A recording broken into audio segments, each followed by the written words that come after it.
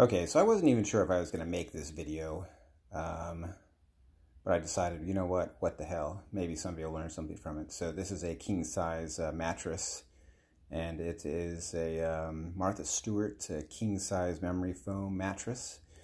It's more than a few years old now, but it's still in pretty good condition, and um, this is a good example of why you should not be cheap and instead buy a mattress cover.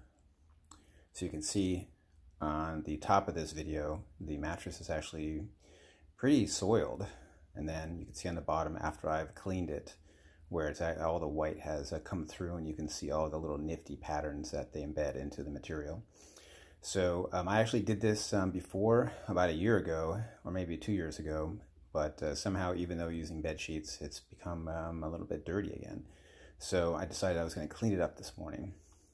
So the tools of the trade are one brand new uh, Hoover Elite uh, Power Scrub Vacuum, which I got at Home Depot for like 108 bucks, and then $18 for the insurance policy, which um, covered it for four years.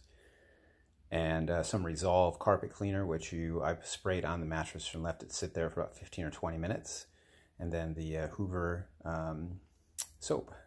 And when you're using the extra tool for the Hoover vacuum, you can't just kind of you can't just kind of swipe it over the material. You still need, even though you have the resolve, you still need to scrub it um, as you're going along.